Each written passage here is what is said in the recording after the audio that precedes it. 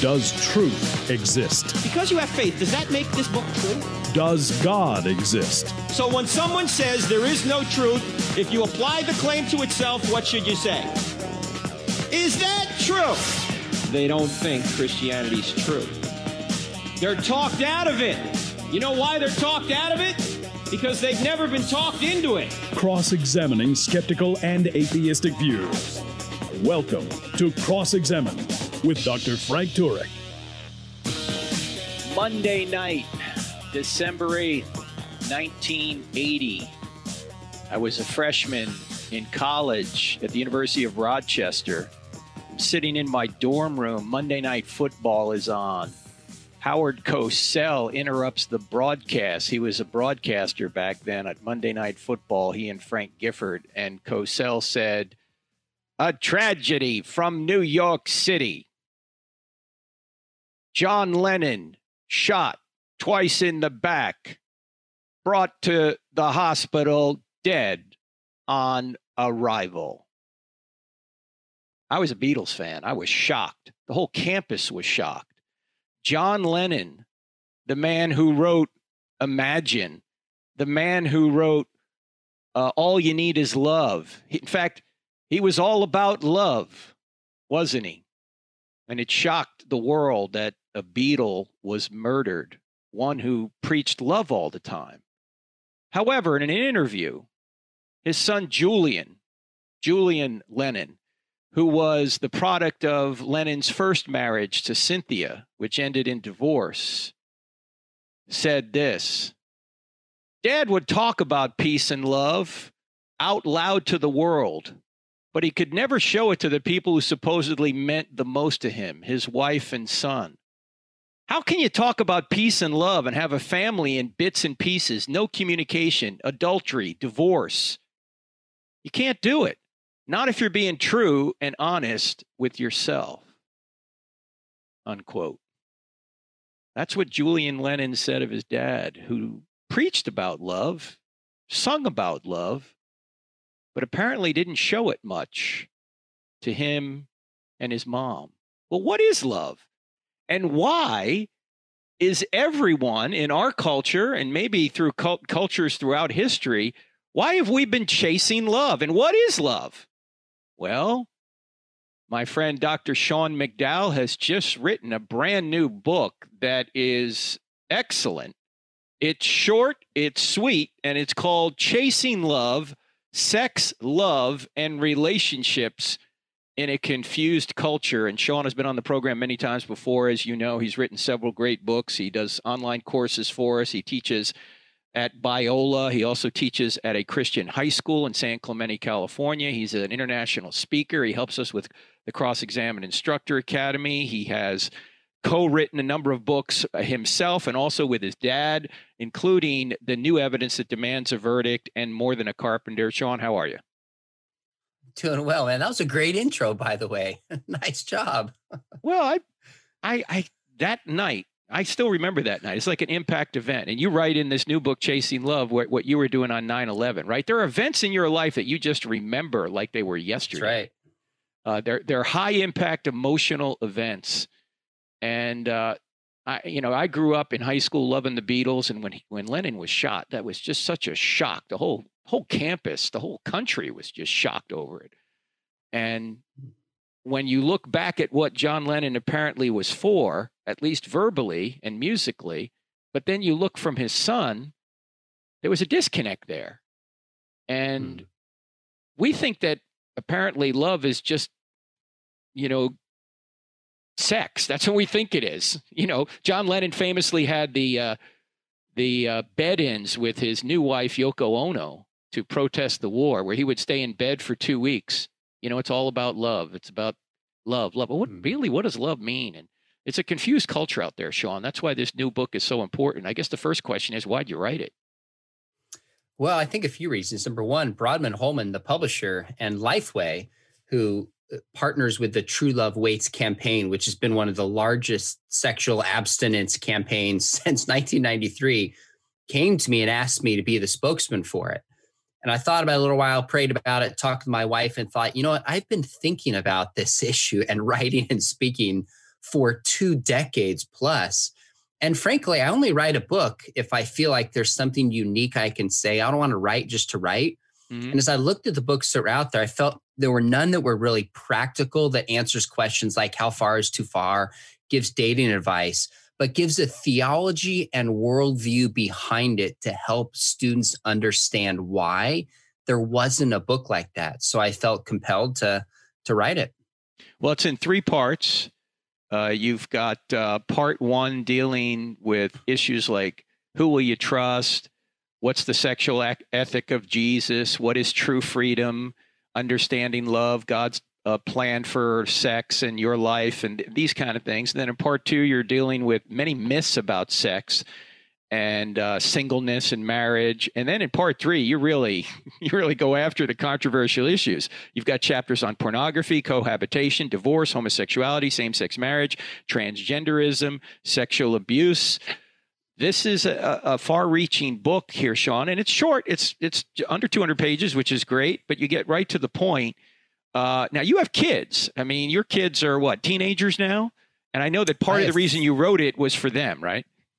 I have three teens in the house, and then I uh-huh. have an eight year old son. So, okay. one of the biggest motivations was gosh, I'm a dad and I want my kids to read this. So, my daughter, when the manuscript came out, I mean, I just almost manipulated her with the offer of buying new shoes if she'd read it, give me feedback, and talk to me about it. And she did. She goes, Hey, dad, at the outlet, I could get two vans for the price one. I was like, Fine, whatever.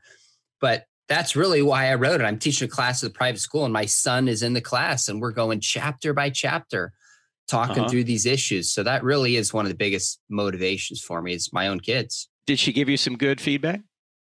You know what she did, and, and honestly, I mean, I wanted her feedback, but she actually said to me, she goes, "Dad, it's actually a really good book."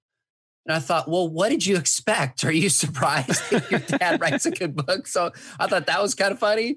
But she goes, oh, there's just there's stories, and you answer the questions. So that was good. But with her, I was really more interested in like asking her questions and having the conversation and just making sure she understands some of these ideas as a beautiful 13 year old girl. All right. Well, let's start with this.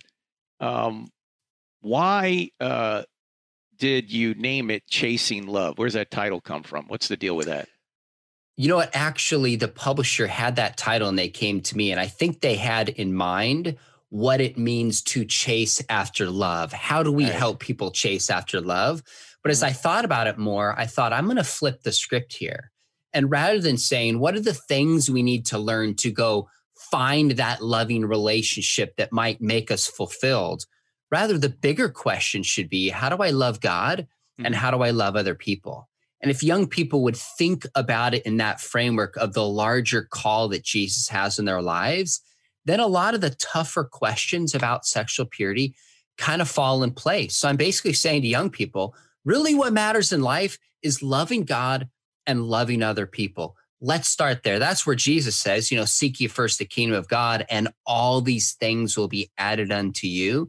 So, sexuality is one compartment, an important compartment of a young person's larger discipleship uh, and relationship with the Lord. Well, briefly, you have a chapter on the uh, sexual ethic of Jesus. So, briefly, what what was his sexual ethic? This is one of my favorite chapters. His sexual ethic was that singleness and marriage are two beautiful ways to honor and know the Lord. And I think in the church, sometimes we've elevated marriage mm-hmm. at the expense of the goodness and beauty of singleness. But sex itself is reserved for a man and a woman who get married, who become one flesh for one lifetime. That's the sexual ethic that Jesus taught. And we could unpack this some more. But one of the things I love to ask students is what would the world be like if everybody actually followed the sexual ethic of Jesus? And the reason I do that, Frank, I know you do the same thing, is I don't want to just convince a kid, here's what the Bible says. I want them to understand why mm-hmm. and that biblical teaching is actually for our objective good and for society's objective good. Well, we're going to unpack that further after the break when we come back with Dr. Sean McDowell. His new book is called Chasing Love. And everybody's chasing it. The question is, what is love? What is the purpose of sex? How does it relate to love? What about these issues like pornography and same sex marriage and transgenderism? We'll get to all that with my guest, Sean McDowell. I'm Frank Turek. We're back in two minutes. Don't go anywhere. Friends, can you help me with something? Can you go up to iTunes or wherever you listen to this podcast and give us a five star review? Why? It will help more people see this podcast and therefore then hear it. So if you could help us out there, I'd greatly appreciate it. If you're low on the FM dial looking for National Public Radio, go no further. We're actually going to tell you the truth here. That's our intent anyway. You're not going to hear this on NPR. The title is Chasing Love, which everybody is appear everyone appears to be doing. Sex, love, and relationships in a confused culture. Sean McDowell is the author. This is a book for parents and kids and just anyone who wants to cut through the confusion about sex and love in our culture. You know, there's a chapter in here too freedom, Sean. And I love the distinction you make between freedom to and freedom from. Can you unpack that for us? Yeah. And the reason I have this chapter is to me, when people often ask me, what's the biggest lie this generation is tempted to believe? And I think it's about freedom. Mm-hmm. And and let me explain. So I was recently with a group of high school students, and there was maybe a dozen, and they'd been in Christian schools and homes their whole life, 17, 18 years old. And I just simply asked them, I said, Can you define for me the person who is truly free?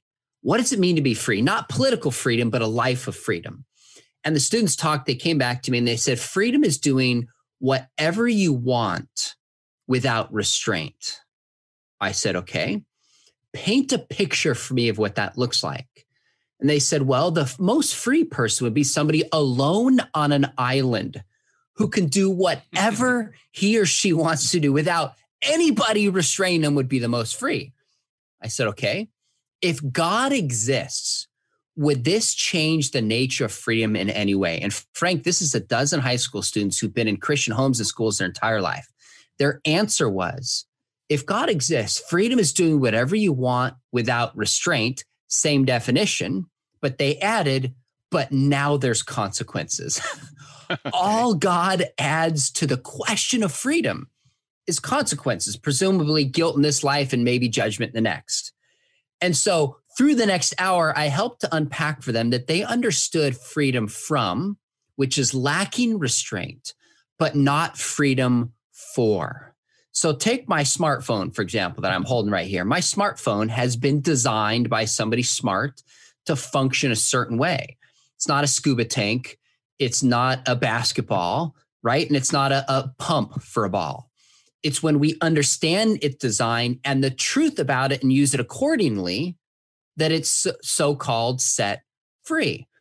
Well, when we look in the scriptures, the first thing we learn about God is in the beginning, God created, which means this world is purposeful. Like a smartphone, God has made marriage, God has made nations, He's made us with language, and He's made a purpose for sex like the phone, when we understand the designer's purpose and use it accordingly, we're actually set free. So, two practical examples I use with students. Number one, I said, I don't think freedom is just doing whatever you want. I said, because what if a man just says, you know what? I don't want to spend time with my wife and kids. I want to spend three hours a day looking at porn. Is he free if he does that? And they started to realize, gosh, there's something wrong with somebody who wants to do that he should have different wants. So freedom's not necessarily doing what you want. It's cultivating the right wants and having the power to live it out. Hmm. The second example I said to these students, I said, take a piano. Who's more free? The person who sits down and says, Hey, this is my piano. I can bang the keys however I want to. I can destroy the piano. Or somebody who sits down and understands the design and purpose and truth of the piano and uses it accordingly and makes beautiful music. Well, obviously, the latter person is more free, but it takes discipline, it takes time, it takes orienting your life to truth to create beautiful music. So, ironically, freedom's not doing what you want, it's having the right wants. It's not lacking restraint, it's actually embracing the right restraints. Then we're free. So, last point I said to these students, I said, if we're supposed to live according to our design, our design and our purpose is to love God and love other people. That means we're made for relationships. So, ironically, I said to students, I said, your example of the person on an island is the least free because they're not in the relationships God has designed them to have. And by the way, we've all learned during COVID that we're made for relationships and we suffer without them. Mm. So the reason I bring this up, Frank, so early in the book is because I'm convinced more and more that even our kids in our best Christian schools and our best churches, our best homeschools really have much deeper of a secular worldview than we realize. And so when we go to biblical teaching, they're funneling it through these secular ideas of love and freedom. So we've got to strip those faulty ideas away first. And then the biblical teaching at least can begin to make more sense to them.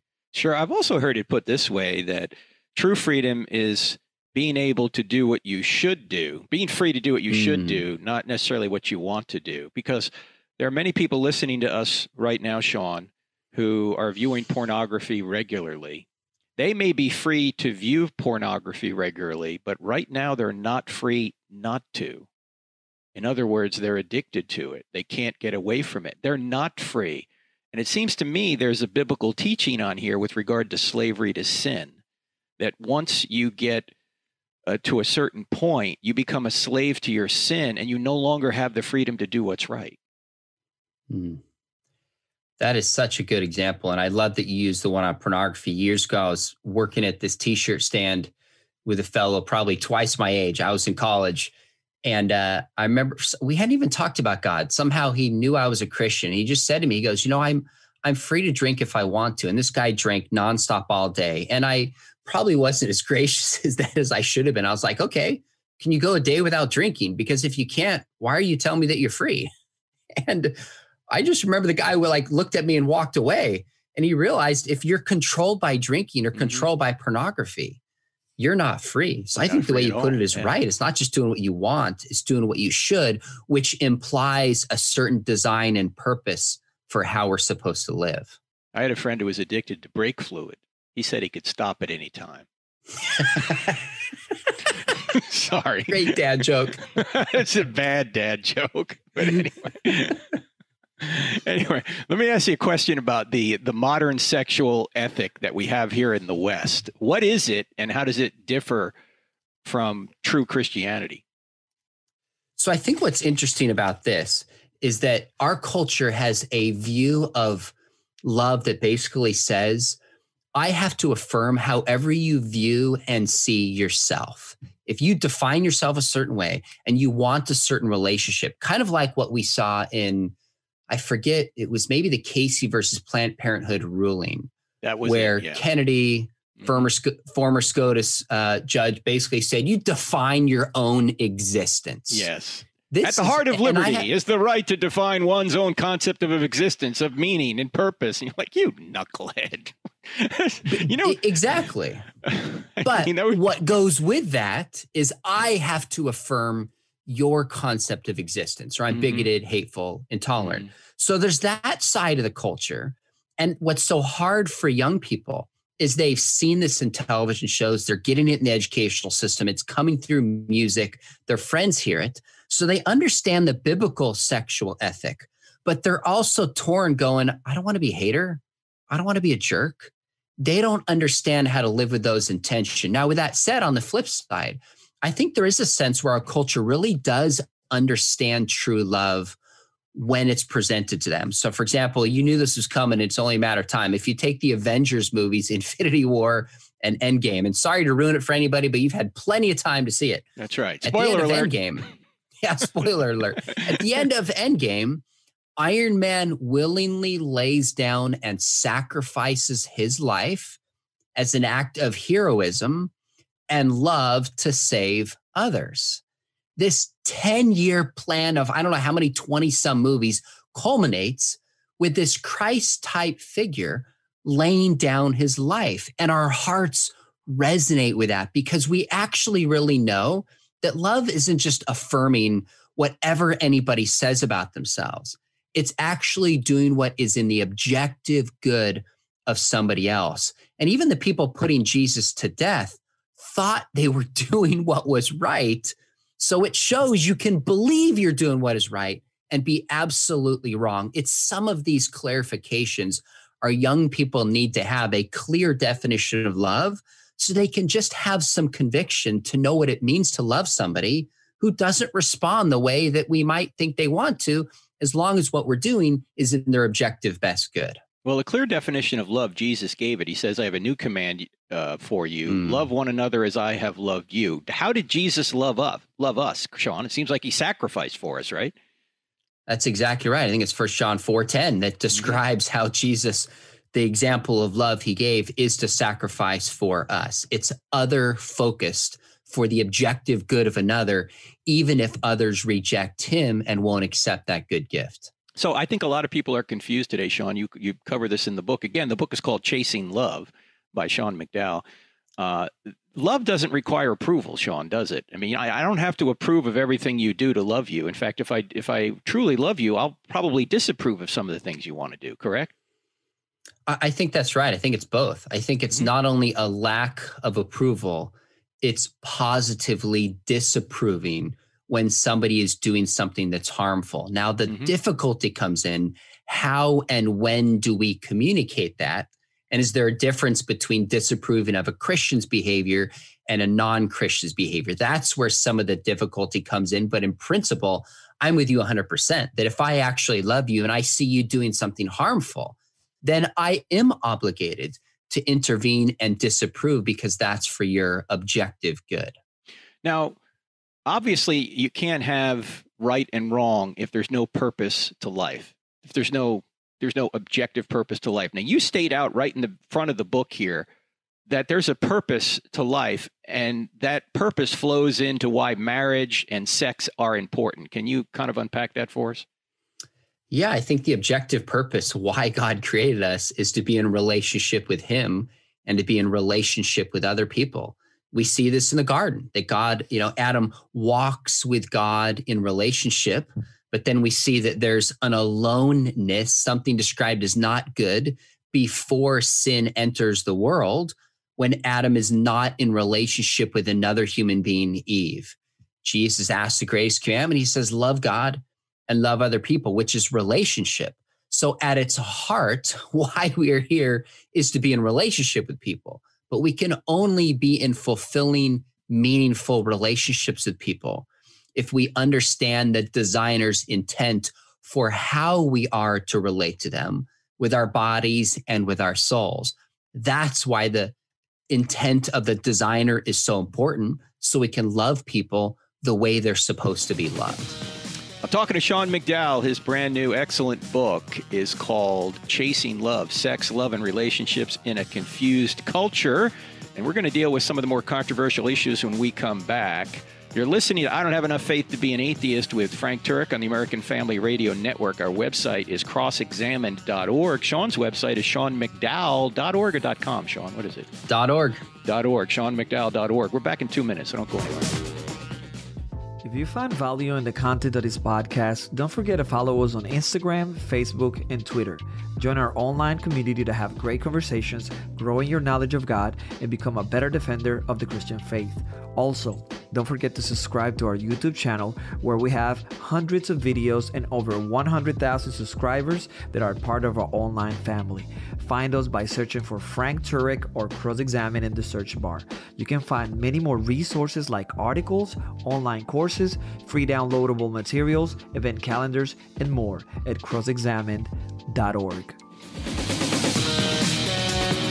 Blessings to you as we come up to Christmas good Christmas gift for good stocking stuffer for one of your uh, your kids, as long as you read it too, is a new book by Sean McDowell called Chasing Love, because everyone's chasing love.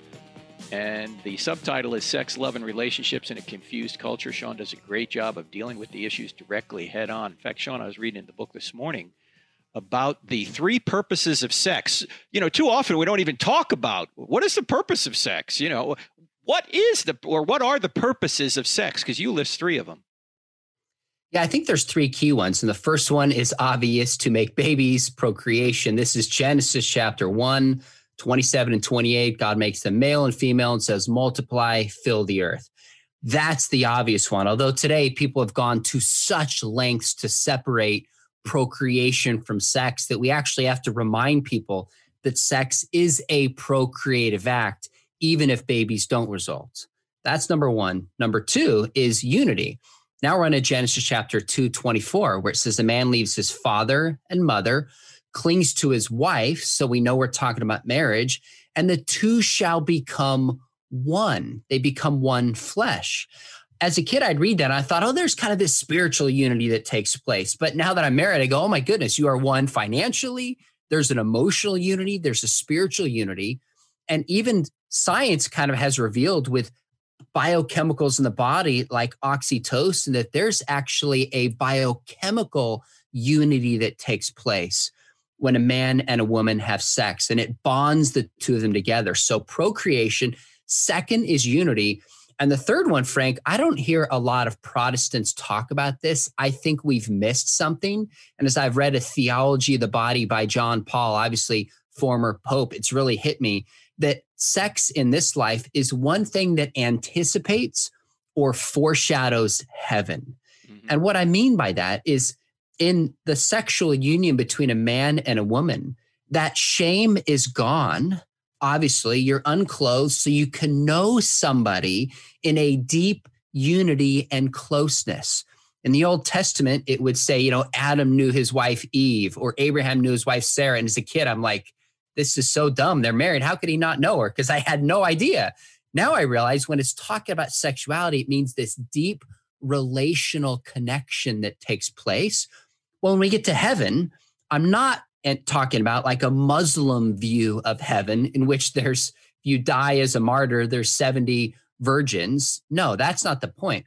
In heaven, there's no marriage and there's no sex, but sex in this life anticipates in one way the beauty and goodness of intimacy and closeness with another human being. And you said right at the beginning, Frank, you said our culture confuses intimacy with sex, and they're not the same things.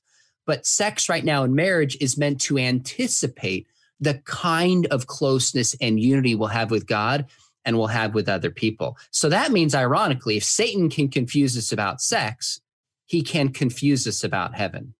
So sex is not the one of the purposes of sex. I'm surprised to find Sean is not to sell beer. Then apparently, that's not the Bible. Huh? okay, I did not know that. but those three. That's awesome. those that's three awesome. are the. I did the third one. I, I, you're right. We don't talk about that much. that uh, sex and heaven are, or it's a it's sort of a foreshadowing of uh, something beautiful about heaven, where we are in fact, marriage is an illustration ultimately of our union to Christ. That's right. It? Yeah. So, and you know, one thing I, I was talking with my high school students this week mm-hmm. is I was trying to ask them, is it ever okay to have sex outside of marriage? And my student, and one one girl said, well, if you were like on your deathbed and you couldn't get married, it might be okay. And I said, okay, so you have enough energy to have sex, but to not get married. And we laughed about it but it revealed that in the minds of these students was like if i go to heaven and i didn't have sex i'm really going to miss out which tells me i was like the only way you can think that is if you have a deficient view of what heaven is going to really be like. Mm-hmm. how about uh, singleness? You have a whole chapter in here well several chapters on singleness but in part two that comprises i don't know four or five chapters about singleness here. Tell us uh, a lot of people will say, well, singleness is just unrealistic in our culture. What do you say to that? Well, let, me come kind of through the back door, so to speak, on this. Right. Singleness also anticipates heaven, mm. but in a different way. So marriage ends when we get to heaven, at least this kind of marriage. There's the marriage of the lamb to Christ, etc. But we're not married. It's only for this life, for procreation, for unity, etc. But in heaven, we are fully fulfilled relationally in our relationships with other people and with God. Singleness in this life right now anticipates the kind of ultimate fulfillment we will have when we get to heaven. I mean, Jesus says, when they say, Hey, your mother, brother, and sister outside, he goes, Who's my mother and brother and sister? He goes, It's those who follow the commandments. He points to the body of Christ, so to speak. Now, I shared that with a single person and she was blown away. She's like, why don't we ever hear this in the church? And I said, because I think in the church, we've elevated marriage beyond scripturally where it should be elevated. Now, let me qualify what I mean by that. Marriage is vital to society. I'm all for strong marriages. But what we've done is we've kind of sent the message to people that if you just, this is kind of what's called um, like purity culture, so to speak. We've told students a message that if you just don't have sex right now, God will bring that partner into your life if you remain a virgin. And then when you get married, you'll be fulfilled and you'll have endless sexual bliss. Intentionally or not, this is the mar- message we've given many young people. And what happens is some get married or, and they're like, this marriage didn't work out the way I thought it would. Things are harder. Or some of them are still single and they start to go, wait a minute, this doesn't match what I was told. Well, the problem is the Bible teaches, you read Matthew 19 and 1 Corinthians 7, that marriage and singleness are two equal and beautiful, good ways, gifts for the church and ways of serving the Lord. But what we've done is we've made marriage the blue ribbon and singleness gets kind of, you know, a, you know, the B, C, D, whatever that mm-hmm. third, fourth, fifth place ribbon is. And it's a disastrous message to send to single people, especially today as less and less people are getting married and they're getting married later and later. We need a robust theology and practice of singleness within the church. So I actually, because it's bothered me so much in the book, the middle section you mentioned earlier is divided into three parts. The middle section is stripping away a lot of the faulty ideas about love and freedom. The middle section is uh, starts with the purpose of sex, and then I talk about singleness, and then I talk about marriage mm. to try to bring some balance to that within the church. What are some of the benefits of singleness? Paul mentions them, but I think you unpack them as well. Yeah, I think one of the big benefits Paul mentions is there's a kind of freedom that you have when you're single. I'm gonna have freedom. I've had single friends who are like, you know, I just packed my bags and went on a trip just mm-hmm. spontaneously. I'm like, that has not happened for me for two decades right. since I've had kids and I'm married. Like there's a certain freedom that comes there, but there's also not the sexual relationship of marriage. And marriage has kids that's a blessing, but lacks some of that freedom. So Paul is just trying to say whatever gift you have, whether marriage or singleness, use it to for the church, you know, and to spread the gospel. Sure. He says you you might have be able to serve the Lord better as a single person. You don't have the responsibilities as a married person when you're single. But this flows right into chapter three or part three of your book, Sean. Again, the book is called Chasing Love by Dr. Sean McDowell. What's very prevalent even among Christians now is cohabitation. And you have a chapter on that. Tell us what you basically say in that chapter. Yeah, I knew that cohabitation, I had seen the studies and read it, read a little bit about how it puts a couple that ends up getting married at a disadvantage. But it actually surprised me how strong the evidence is that basically Glenn Stanton, our friend at Focus, said if you are going to invent a way to put a marriage at a disadvantage, it'd be hard to find something more effective than living together. Now, that's kind of counterintuitive, at least to many young people. When I talk to young people and I'll say, Do you think it helps someone to live together first? Like, even a lot of Christians will say, Yeah, I think it's wrong, but it's probably going to help them. Mm. And then I'll say, The study shows the opposite. Why is that the case? And there's a number of reasons here. Number one being men and women tend to have different expectations in a cohabiting relationship. Women tend to approach this like this is a step of commitment towards ultimate commitment. A man tends to view it like this is just a step where I get what I want without bigger commitment. And I can leave tomorrow if I want to, I can leave tonight. So that disparity uh, is different. Second, if my wife and I differ about something or we're upset, there's something we have that gives us a freedom that doesn't exist in a living together couple. And that thing we have is called commitment. My wife knows, both of our wives, Stephanie, know right. we're not leaving him mm-hmm. and we're committed to him. And as much as she's upset with me, I'm going to hear and we're going to work it through and we're going to find a way. That doesn't exist in a cohabiting relationship. So what happens is people move in together and they think it's simulating a marriage relationship, but it's lacking the very component that makes a marriage relationship work. And so when it's all said and done, my students will say things like, well, you get to see if they put the, you know, the the cap back on the toothpaste or how they make their coffee in the morning. I said, can I just tell you from 20 years of marriage, that stuff is so inconsequential right. to what makes a marriage work. It's commitment, but that's what's lacking in a cohabiting relationship.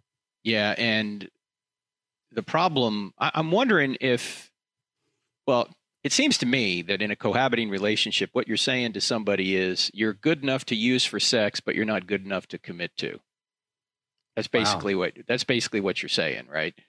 Uh, you really don't love the person if you're not ready to sacrifice your freedom and autonomy for that person. Secondly, Sean, I wonder if the cohabiting situation, uh, the the causal arrow goes the other way. In other words, Stanton is saying that people who cohabitate are more likely to get divorced. But I wonder if the cohabitation is doing that, or it's the fact that people were willing to cohabitate in in the first place. In other words, they were the kind of people who would say, I just want to get what I want without the commitment, that that is the reason that they don't survive very well in marriage because they're the kind of people that wouldn't commit anyway. You know what I'm saying? I don't know if the causal hour is going the arrow is going the other way. Uh, but let's talk about it after the break because we're coming right up on it. And uh, we're talking to my friend Sean McDowell. His uh, new book, which you need to get, is called Chasing Love, which everybody appears to be doing. What is love? How should we chase it? What What does it really mean to a Christian to love? What is marriage in the Christian worldview? We're going to get to more of it right after the break. You're listening to I Don't Have Enough Faith to Be an Atheist with Frank Turek, my guest Sean McDowell. Back in two. Friends, Frank Turek here. I Don't Have Enough Faith to Be an Atheist is a listener supported radio program and podcast. So if you like what you hear here, would you consider donating to crossexamined.org? 100% of your donations go to ministry, 0% to buildings. We're completely virtual. So if you can help us out, we greatly appreciate it. Thank you so much. Frank Turek back with you, talking to my friend Sean McDowell about his new book, Chasing Love. And Sean, just before the break, we were talking about the idea that people who cohabitate they get divorced at much higher rates than people that don't. Now, what's causing that? Is it is the cohabitation causing that, or is it because of the kind of people that would cohabitate, meaning that they really didn't want to commit to one another to begin with, causing them to have less com- commitment once they become uh, married officially? What, what do you think the, the real answer is? I, mean, I don't know if we know the answer, but what do you think? That's a really good question. I, I don't know that statistically we can really decipher exactly what's causing it, but I think I would say if you're willing to cohabit first, although many people who cohabit, they're actually reacting to brokenness and divorce they've seen from their yeah. family and they want commitment. So many don't have it, but many are entering into this because they actually want to have a successful relationship and marriage, but they just don't realize that living together puts them at a disadvantage and it's a false simulation of what marriage is going to be like. So they finally get married, and all of a sudden there's these challenges that are totally different than living together, and they're just not prepared for it. So if a young person came to you, Sean, and said, really what's wrong with premarital sex? What's wrong with even cohabitation? From a from a christian perspective from the true perspective christianity what would you say in a nutshell? I'd say premarital sex is wrong because you shouldn't lie to people. And then i'd let it sit. And they'd be like what do you mean lie to people? I'd say look i had this conversation yesterday with my students franco. What wrote up on the board. I said do bodily actions communicate things we started talking about how a slap on the cheek in itself communicates something. In fact, we talked about how a kiss on the cheek communicates something different than a kiss on the forehead does. Rolling your eyes communicates something. Something like the middle finger might be cultural, but other things are transcultural. I said, What does a kiss on the lips mean? And they said, Well, it depends. You know, some greeting people. I was in Eastern Europe and men would greet one another with a kiss on the lips. Fine. I said, What does a French kiss communicate? And they're like, That is definitely romantic. And then I said, What does sex communicate? And I pulled out of these students, and they're like, Well, it communicates permanency, it communicates trust, it communicates exclusivity because of the kind of act that it is. So you shouldn't have premarital sex with somebody because your line with your intentions are different than what you're doing with your body. Mm-hmm. Hmm. Good. How about pornography? A whole chapter on this. It does change your brain chemistry. We know that. What are the other problems with it? Well, the biggest problem, of course, for Christians is that Jesus was very clear about ruling out lust. And it's pretty hard to say, oh, I'm looking at pornography for the art as opposed to the lust that he talks about in the Sermon on the Mount. That's the low hanging fruit, easy response. But the other thing we've seen is that pornography harms people in the industry. I mean, just this week, there was a story about, I'm not even going to mention their name, one of the largest porn producers in the world, one of the most visited websites, how there were tons and tons and tons of videos uploaded of people, in particular minors, who had been raped. Now, why would they do that? Because there's demand for this from people who look at porn. You need more and more variety, more and more different. So, of course, to save their name, they said, oh, we're going to stop this and end this, not because they think it's right, but because they got caught. And I actually put in the book a lot of stories of former uh, porn stars or actors or actresses who would say things like, man, once I got out, I realized how destructive this was to my mental health, to my body. I was an object that was used. So when somebody says porn's not hurting anybody, I say that is an absolute lie. It's hurting people on so many different levels. The other point that I would say is John Paul II, he said, the problem with pornography is not that it shows too much, it's that it shows too little. And at first you think, wait a minute, it shows too much. People take their clothes off. He goes, no, what pornography does is it takes a sex act, a sex act that's meant to be in a committed relationship where there's emotion and there's trust and there's a marriage and it reduces it just to the physical act that somebody views for their own pleasure. And what it does is it begins to reduce people to objects that you use rather than beings that you love. Right. I believe it was St. Augustine who said the problem is that we tend to love, we're supposed to love people and use money, but we love money and we use people. Mm. If you look at pornography, it conditions people to start using others as objects for their own pleasure. And frankly, the studies show that the number one area where young people, including Christians, to learn about sex, it's not church, it's not their parents, it's pornography. And ladies and gentlemen, if you're using pornography, you are partially contributing to that girl who just got abducted in your neighborhood into the sex trade industry, and you say it doesn't hurt anyone. It does. How about the transgender issue, Sean? You've got a chapter on that here. You've also got chapters on divorce, homosexuality, same sex marriage, sexual abuse. We can't cover it all, but the transgender issue has really sort of taken the uh, country by storm. And now there's sort of a soft totalitarianism going on. If you don't agree with everything the transgender side says, you are going to be canceled. In fact, my friend Rod Dreher, who was on the program a few weeks ago with Live Not by Lies, points that out. What do you cover in the transgender chapter? Well, one of the things I'm trying to do is help people have clarity on definitions. Hmm. So transgender. Oh, there are no definitions in transgenderism, Sean. right? There's your first mistake right there. well, it is interesting politically that we're seeing certain women being nominated to certain positions, which I say is great. At the same time, we're told there's really no such thing that is a woman. I mean, mm-hmm. it's just full of contradictions. Mm-hmm. Technically, here's here's the way I phrase it: transgender is is psychological, intersex is biological, transgenderism is ideological. Say that again. Now, Say that so whole thing. Trans, transgender is psychological. It's a mental phenomena. Mm-hmm. Uh, intersex is biological, it's a physical condition.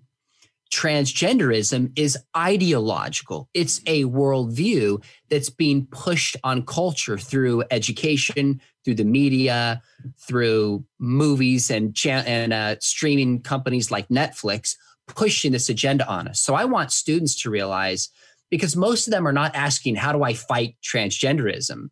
They're saying, how do I love or be friends with this person in my school or my community or now my sports team who's transgender? Like, what does that look like practically for them? And what's amazing about this is in the past decade, what's called rapid onset gender dysphoria.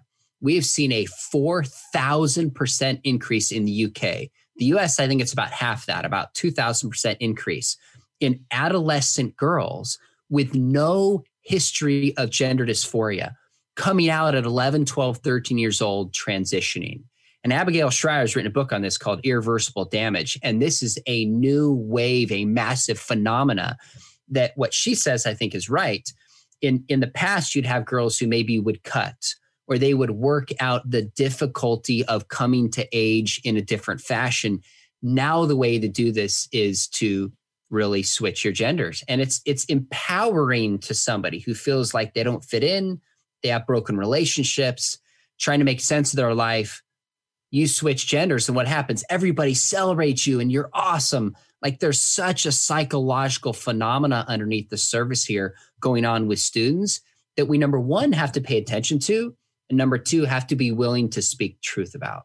So what would you say and let me just say obviously with a 4,000% increase, this has been driven, I would think, by social media uh, because people are, as you say, being celebrated if they do this. So they're getting attention that they couldn't get otherwise. Where 20 years ago, you wouldn't have this kind of phenomenon. So it's not driven by some sort of medical condition or some or some sort of of, of physiological condition. It's really driven by emotion, it seems. It's driven by people cheering other people on. But let me let me go to your your the, the question that your students are asking. What do you do as as a Christian student when you have someone in your class who's a man or a boy claiming now he's a girl? What how do you how do you deal with that? Well, I would tell any Christian student to do two things are vital. Number one, you have to know what you believe about this and why because one of the ways that some people have their beliefs changed is they'll meet somebody of a different worldview, different perspective, and go, "Oh, they're nice, they're normal. Uh, this must be fine." Like that's how the heart works. Right. Yeah. So we have to have worldview training. What does Scripture say? What does science show? So we can have confidence to do the right thing, but reach out lovingly in relationship. Clearly, somebody in high school or junior high who changed their gender is hurting and they're broken. And again, all of us are but I think at the heart of so much of the LGBTQ issue is do I belong? Who am I? Am I loved? And as Christians, that's our biggest task is to love people. So just reach out and try to treat this person the way you would anybody. Be that Christian who breaks the stereotype that Christians are bigoted and harmful and hateful and just reach out and get to know this person and listen to them and spend time with them. That's what I would suggest Christians do those two things are vital. Yeah, I I wonder how much of this has been caused partially by my generation and the sexual revolution when people come from broken homes their identity is up in the air sometimes and so i think mm. so much of people who are struggling with their identity that at least that struggle could could have been caused by uh, their parents not living in a in a sexually uh, committed way. Uh, that's probably part of it. Sean, we're running out of time. Tell people where they can get the book, and if they do get the book uh, from you, they're going to get some other uh, free interviews. Explain that quickly. You can go to any place that sells books and find it. But if you go to seanmcdowell.org and you just scroll down, seanmcdowell.org, you'll see a link to the book. Click on it and we've set up. I've interviewed Richard Ross, who's who founded the True Love Waits, James Dobson, and my father, who kicked off the Why Wait campaign. And if somebody orders this before Christmas and just takes a screenshot, sends it in, we will send you those three order those. Sean McDowell. That's SeanMcDowell.org. Sean, thanks for being on the show. Sorry we're out of time. I'll see you guys here next week, Lord willing. God bless. Again, the book is Chasing Love. If you benefit from this podcast, help others find it. Just go to iTunes or any other podcast service you might be using to listen and leave us a five star rating on the I Don't Have Enough Faith to Be an Atheist podcast with Dr. Frank Turek. It will take you less than five seconds. You can also help a lot by leaving us a positive review for others to see. This podcast is available on iTunes, Spotify, Google Play, Stitcher, TuneIn, and many other audio content delivery apps. Thank you and God bless.